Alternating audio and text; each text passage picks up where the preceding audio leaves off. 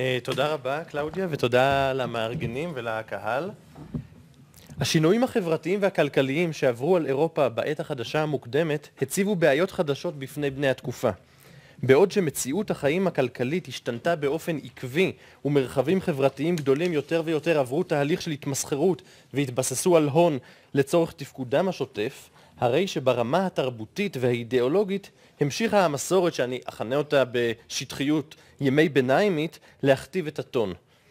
אחד הנושאים המטרידים ביותר היה בעיית הריבית, שמצד אחד הלכה ונתפסה כבסיס הכרחי לכלכלה מסחרית, ומצד שני שמרה על המטען התרבותי והדתי השלילי אותו נשאה מאז העת הקלאסית. אנגליה הייתה מקרה מובהק של שניות שכזו. על אף שכבר באמצע המאה ה-16 חוקק הפרלמנט אחוז תקרה להלוואות בריבית, עשרה אחוז, ובכך למעשה התיר דה פקטו הלוואות בריבית, הרי שהדיון הציבורי בסוגיה המשיך להת... להתלהט במשך עוד כמאה שנה. לפחות עד לתחילת המאה ה-17, השפה בה התנהל הפולמוס הייתה בעיקרה מסורתית, זאת אומרת תיאולוגית ומוסרית, ולא פרקטית כלכלית. אחד המוטיבים המסורתיים שהשפעתם הייתה מתמשכת ומשמעותית היה קישור ההלוואה בריבית ליהודים. לקיחת הריבית נתפסה כפעולה שטנית שאפיינה את היהודים באופן מהותני. קישור זה היה תוצר של שילוב של תהליכים שונים שהתרחשו בימי הביניים ואין זה המקום להרחיב עליו. בדברים הבאים אבקש להציע נקודת מבט על הקצה השני של התהליך. כיצד ישבו בני העת החדשה המוקדמת את מציאות החיים הכלכלית ההולכת ומתבססת על הון וריבית, יחד עם מטען הדימויים המסורתי של הריבית. במילים אחרות, ובאופן יותר ספציפי, כיצד טופל דימוי היהודי המלווה בריבית במציאות חברתית בה הפכה הפעילות הפיננסית מנחיתות מוסרית לנורמה מקובלת, ולפעמים אף רצויה. אנגליה היא מקרה מעניין בשל הצטלבות תהליכים ייחודית שאפיינה אותה במהלך המאה ה-17. מתחילת המאה עברה החברה האנגלית תהליכי מסחור עמוקים. על פי היסטוריונים חברתיים של התקופה, מאמצע המאה אחוז האוכלוסייה שלא היה תלוי בשוק לציפור, לסיפוק צרכיו החומריים כבר היה זעום. חשיבותו של ההון בשוק הכלכלי גדלה לאין שיעור, ובמקביל מערכת האשראי צמחה והתרחבה.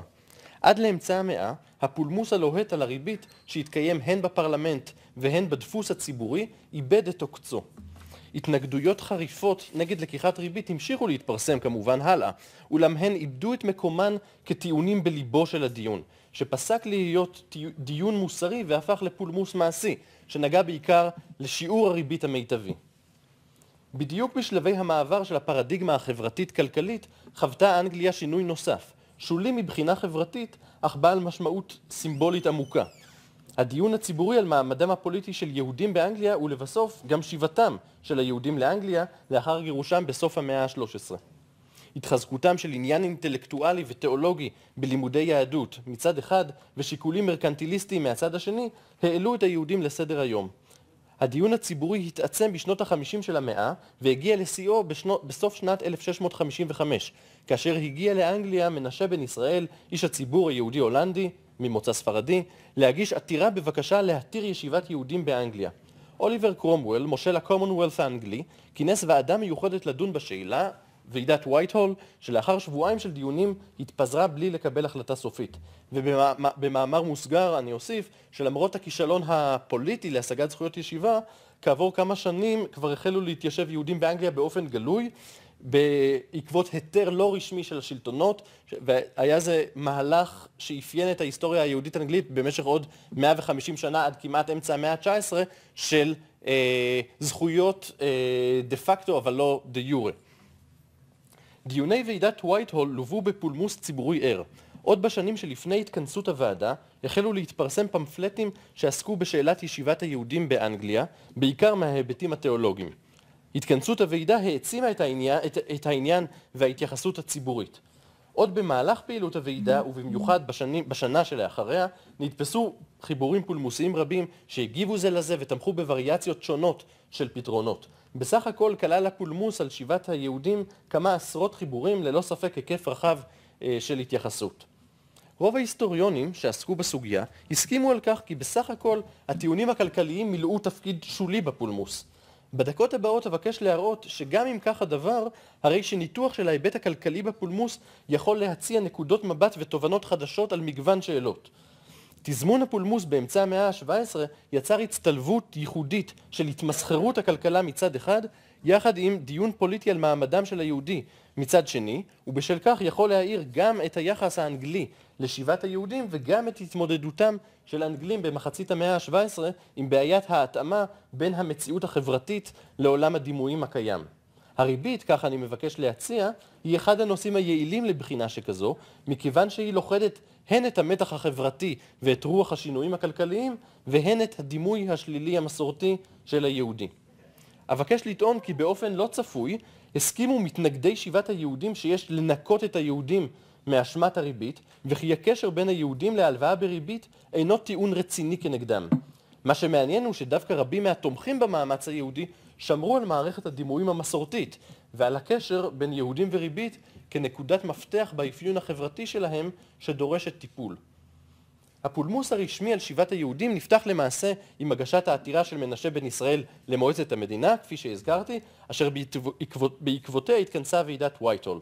העתירה יכולה לשמש נקודת פתיחה טובה למיפוי העמדות השונות והדינמיקה של הטיעונים, מכיוון שהיא גם הייתה הראשונה מבחינת הזמנים וגם הייתה נקודת ההתייחסות המרכזית של ההתנגדות אה, לשיבת היהודים.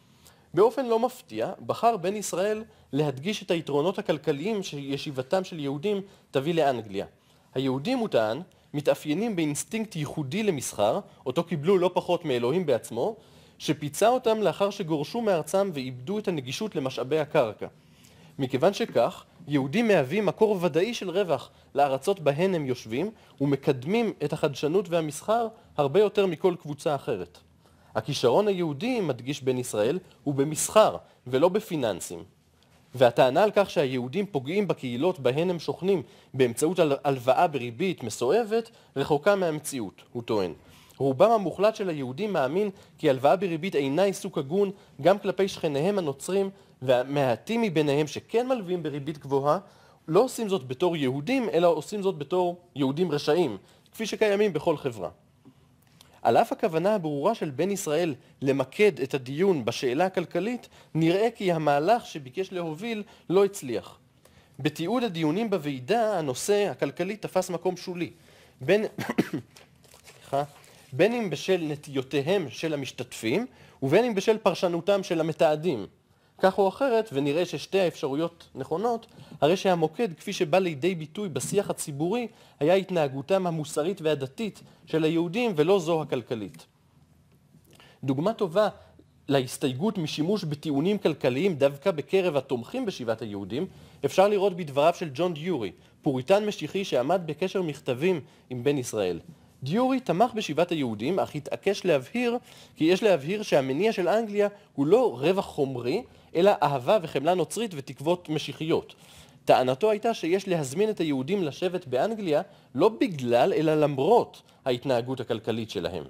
כך, כדי להימנע מנזקי, אני מצטט, ההתנהגות החמדנית והריבית הנושכת שלהם, סוף ציטוט, על הרשויות יהיה להגביל את פעילותם הכלכלית.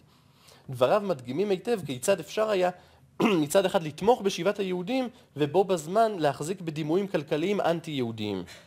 על רקע זה מעניין במיוחד המהלך ההפוך שהוביל המתנגד החריף ביותר לשיבת היהודים, עורך הדין וההיסטוריון ויליאם פרין. חיבורו של פרין, טענה קצרה כלפי היהודים, הודפס במהירות בדצמבר 1655 והספיק להגיע לחברי הוועידה ממש לפני ישיבתם האחרונה. היו שטענו כי הוא היה גורם משמעותי בכישלון הניסיון, היהוד... בכישלון הניסיון היהודי להשגת היתר הישיבה. פרין טען שהכסף היהודי, אני מצטט אותו, משחק תפקיד מרכזי בהיסטוריה והפך אותו לציר מרכזי כמעט מטאפיזי, תודה, בתיאור ההיסטוריה היהודית-אנגלית. אולם יחד עם זאת, פרין המעיט את מקומה של הריבית בדינמיקה הכלכלית היהודית. בין היתר הוא טען כי היהודים ככלל לא היו משמעותיים כמלווים בריבית באנגליה של ימי הביניים, וכי רק אליטה מצומצמת בהם עסקה בכך. יתרה מכך, טען פרין, ההלוואה בריבית הייתה רק סיבה שולית לגירוש היהודים ב-1290. טענה זו הייתה בעייתית מכמה בחינות. אדוארד הראשון שגירש את היהודים התייחס רטרוספקטיבית לריבית היהודית כשיקול מרכזי בגירושם. בעיה נוספת שעמדה בפני פרין הייתה הצורך להסביר את משמעותו של צו היהודים משנת 1275, סטטוטום דה יודאיזמו, אשר הפעיל סנקציות קשות נגד היהודים והתייחס ספציפית לבעיית הריבית היהודית. כנגד זה טען, טען פרין כי הריבית נאסרה באנגליה הרבה לפני כן, וכי צו היהודים משנת 1275 למעשה רק חזר וביסס את האיסור הקיים. מכיוון שכך, הריבית לא יכלה להיות הגורם המכריע ביחס ליהודים, וכדי לגרש אותם היה צורך בצו חדש ומיוחד. צו זה, טען פרין, ניתן ב-1290 במשותף על ידי המלך והפרלמנט, לא כנגד הריבית, אלא כהתמודדות עם הכפירה היהודית והסכנה שהיהודים היוו למרקם החברתי והחוקתי האנגלי. ההפרדה הרוויזיוניסטית בין היהודים והריבית, שלא התאימה למקורות הימי ביניימים, הייתה חלק מתפיסתו הפוליטית של פרין, ובאופן אירוני הייתה נטועה, ככה אבקש להראות, בהתנגדותו החריפה לשיבת היהודים. פרין יצא כנגד בן ישראל, אך למעשה התמודד עם דמות נוספת, הפוליטיקאי והמשפטן החשוב סר אדוארד קוק. למרות שקוק מת כ-20 שנים קודם לכן, הוא מעולם לא התייחס לאפשרות של ישיבה מחודשת של יהודים באנגליה, דבריו, למפרע, היו בעלי משמעות רבה בדיון, משמעות שמתבררת דווקא מתוך הפרספקטיבה של הריבית. ביצירתו הגדולה, Institutes of the Laws of England, טען קוק שהחיבור המהותני בין יהודים וריבית היה ציר מרכזי בהיסטוריה היהודית-אנגלית, והסיבה היסודית להסתלקותם מאנגליה. מטרתו של צו היהודים של אדוארד הראשון, אותו איסור אה, ש, שדיברתי עליו, שהטיל מגבלות רבות על היהודים אה, והתייחס לריבית היהודית, מטרתו הייתה לגדוע את הריבית היהודית. בכך הוא חיסל את מקור פרנסתם, ובעקבותיו היהודים עזבו את אנגליה, וזה חשוב, ביוזמתם. אם נצטט את דבריו, צו זה פגע בשורש של העשב השוטה הקטלני הזה, מכיוון שמכאן והלאה הריבית עצמה נאסרה. ומכיוון שכך, היהודים קשי הלב, ברודפם אחר רווח מסואב, עזבו את הממלכה לטובת אזורים אחרים בהם יוכלו לממש את עיסוקם היהודי בריבית. עד כאן. צו היהודים, טען קוק, תיקן את פגיעתם של היהודים בעם האנגלי ובחוקה. מכיוון שידוע היה שהיהודים עזבו את אנגליה ב-1290, קוק תיארך את הצו לאותה השנה, ולא לשנת 1275, כפי שתיארכו אותו פרין והיסטוריונים אחרים בני התקופה, וכפי שכיום מקובל במחקר. הדגש הרב שנתן קוק לבעיית הריבית היהודית, אם כן, הביא אותו לטעות בתיארוך המאורעות. על אף שקוק לא הצטיין בסימפתיה מיוחדת ליהודים, כפי שאפשר היה לראות, וכך גם בדיונים אחרים שלו, בהקשר החדש של הפולמוס על שיבת היהודים, הנרטיב ההיסטורי שלו הפך לבעייתי במיוחד עבור למתנגדים כמו פרין. שהרי אם היהודים עזבו ביוזמתם לאחר איסור הריבית, לא היה צורך בצו גירוש רשמי, ואם כך, הרי שאין מניעה חוקתית לשיבתם לאנגליה. יתרה מכך, מכיוון שהפרלמנטים של הנרי השמיני ואליזבת הראשונה אישרו תקרת מקסימום לריבית, הרי שבכך הותרה הריבית במסגרת המגבלות. לאור זאת, אם הריבית היא הסיבה לגירוש היהודים, הרי שהיא איבדה את תוקפה. הנרטיב של קוק, אם כן, היווה נקודת ייחוס לביקורת הקטלנית של פרין לא פחות מאשר הטקסט של מנשה בן ישראל. חלק ניכר בחיבור הוקדש להפרחת הטענה של קוק, והיקף זה אף הוכפל במהדורה השנייה. פרין הדגיש את תיארוך צו היהודים, שהתייחס לריבית היהודית לשנת 1275 ולא 1290, כך שלא יוכל להוות סיבה ישירה לעזיבתם של היהודים. בנוסף, הוא התעקש על קיומו של צו לגירוש היהודים, שנקבע הן על ידי המלך והן על ידי הפרלמנט, על אף שצו זה כלל לא נמצא. גירוש היהודים, הוא הדגיש, היה, היה פעולה שנבעה מחקיקה, ולפיכך היהודים נמצאים עדיין בסטטוס חוקי שאינו מאפשר להם ישיבה באנגליה. אלא אם כן פרלמנט האנגלי יחליט באופן, יחוקק חוק שמתיר להם ישיבה, מה שכמובן אה, לא יעלה על הדעת. מתוך הדגש הרב על הריבית היהודית, הנרטיב ההיסטורי של קוק הציב אלטרנטיבה שלמפרע יכולה הייתה להיות מובנת כפותח, כפותחת פתח לשיבת היהודים.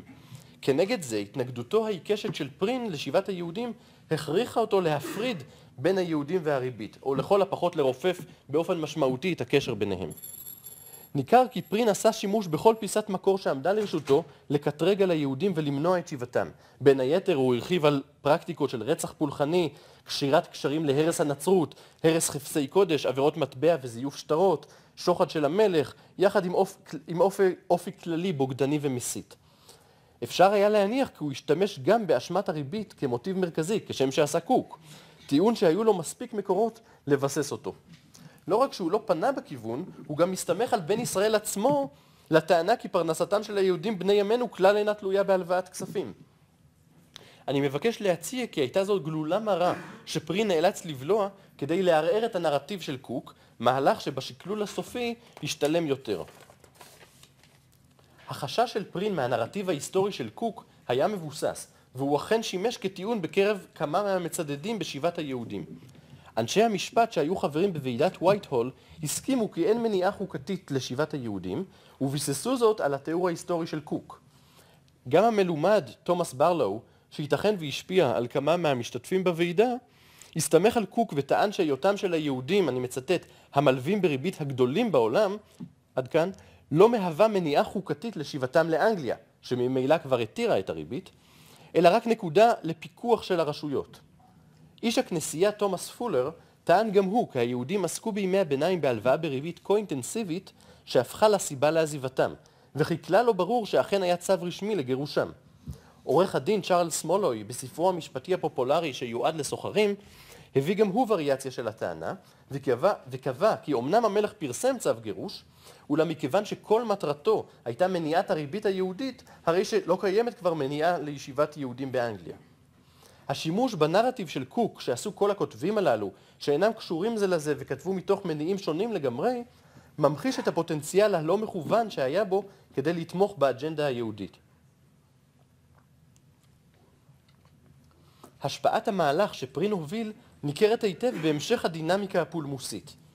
בעוד שבשלב הראשון תומכי שיבת היהודים הקדישו מאמצ... מאמצים לטיהור היהודים מהריבית, הרי שבסיבוב השני של הפולמוס, אחרי שפרין הדפיס את חיבורו, נושא הריבית כבר לא היה נקודה שדורש. שדורשת אפולוגטיקה מצד המצדדים. נראה כי כל הצדדים כבר התייחסו לנושא כסוגיה שולית בפולמוס הכללי, בשונה מאשר בנקודת ההתחלה. פרין הצליח אם כן להכשיל את ניסיונו של בן ישראל לכוון את הפולמוס לסוגיות כלכליות. אף על פי כן, היו לפולמוס השפעות לוואי על הדימוי הכלכלי של היהודי. ביקשתי להראות כי הניתוק של היהודים מהריבית היה מהלך שבאופן לא צפוי התקבל על ידי שני הצדדים. הסיבה המרכזית לכך, טענתי, הייתה המכשול הלא מתוכנן שהציבו דבריו של קוק, הסמכות העליונה בענייני משפט בתקופה, שאילץ את המתנגדים להתאים את קו הביקורת המרכזי. אולם עדיין, נראה כי פרין יכול היה, בלי הרבה תמרונים, לערער על הנרטיב של קוק, ויחד עם זאת לשמור על סטריאוטיפ היהודי המלווה בריבית. כך עשה למשל מתנגד אחר לשיבת היהודים, דומיננטי הרבה פחות, בשם ויליאם יוז. מדוע אם כן לא עשה זאת? כאן אני סבור, אנחנו נדרשים לחזור אל ההקשר ההיסטורי הרחב. הפולמוס סביב שיבת היהודים לאנגליה התרחש במקביל לתהליכי המסחור העמוקים שעברה החברה האנגלית בעשורים שקדמו לו. תהליכים אלה שינו את היחסים החברתיים והשליכו גם על תפיסת החברה ועל מערכת הדימויים התרבותיים. כחלק מהקשר זה, גם דימוי היהודי הכלכלי, אם נקרא לו כך, נפתח לאפשרויות שינוי. ההקשר החברתי החדש בו התקיים הפולמוס אפשר את הצעד הלא צפוי של פרין של הפרדת היהודים והריבית. הוא כמובן לא הפך את המהלך לטריוויאלי או למובן מאליו, כפי שאפשר לראות בכך שלא שררה לגביו הסכמה, אבל הוא הכניס אותו למסגרת האפשרויות המתקבלות על הדעת. הפרדה זו שיקפה את ההבנה, כך אני מציע, שהאשמת הריבית כבר אינה ביקורת אפקטיבית על היהודים. על אף שהפרדה שכזו לא זכתה לקוצ... לקונסנזוס, הרי שהיא ערערה בכל זאת את, הפר... את הפרדיגמה ארוכת השנים של היהודי המלווה בריבית, ובכך אפשרה דימויים כלכליים חדשים של היהודים באנגליה. מהצד האחד, המשגה מחדש של האיום הכלכלי היהודי, ומהצד השני, הערכה מחדש של היחסים בין היהודים לאנגליה ותרומתם האפשרית במציאות חדשה. תודה רבה. תודה רבה לאבינועם. כן, יש כבר שאלות, אה, קארין, ואז אה, גדי. אה, רגע, קודם קארין? או בסדר, גדי, לקחת, קדימה. לא, לא, לא, לא, בסדר גמור.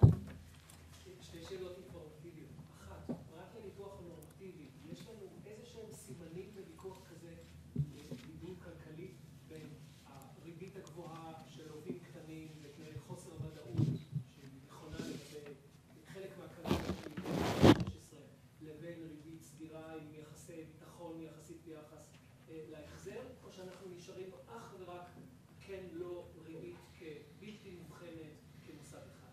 שאלה שנייה, במאה ה-15 יש לנו טענות מעניינות שהריבית גם קשורה ספציפית לאפשרות של יהודים לעסוק בתורה, כיוון שהיא מאפשרת עבודה מהבית עם הפרעות לשאר העקרונות. וגם נשים עוסקות, מאפשרות לבעלים לעסוק בתורה. משהו כזה עולה בדיון הזה? טוב, תודה על השאלות. אז לגבי השאלה הראשונה, לצערי לא. לא הצלחתי לשים את האצבע על חיבור קונקרטי יותר של הריבית. לא הצלחתי גם למצוא התייחסות כזאת, או למשל, לצורך העניין, אמרתי בהרצאה שמאמצע המאה ה-17 הדיון הציבורי המרכזי הכלכלי הוא כבר נוגע בעצם לסוגיות של תפעול הריבית, ולא שאלה נורמטיבית כללית על מהות הריבית, ובנושאים האלה היהודים לא נכנסים. הדימוי היהודי לא נכנס, הוא לא משחק, אז לצערי התשובה היא לא. הריבית נשארת כמכלול ארטילאי מוסרי וכללי. ולגבי השאלה השנייה, לצערי התשובה גם לא. בקרב, בתקופה הזאת, הדיון מצד היהודים הוא בעיקרו אפולוגטי, כפי שציינתי את מנשה בן ישראל, וטיעון כזה היה קצת חותר מתחת אולי למגמה הכללית. אני לא ראיתי, אני לא ראיתי את הטיעון הזה בתקופה גם בהקשרים אחרים. קרין, שאלה קצרה. קודם כל, מאוד מעניין.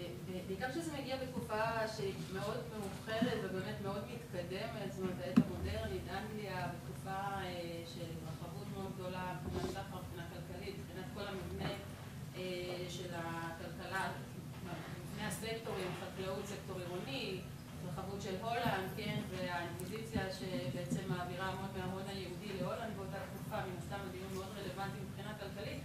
אני לא יודעת כמה השיח הזה הוא לא אנכרוניסטי ועד כמה הוא באמת, קורא לו שיקולים כלכליים. אני הייתי אומרת, יש פה קצת איזשהו שיח קצת תיאורטי, שלא באמת משקף לדעתי את השיקולים הכלכליים של הכלכלה או של השחקנים הכלכליים החשובים באותה תקופה.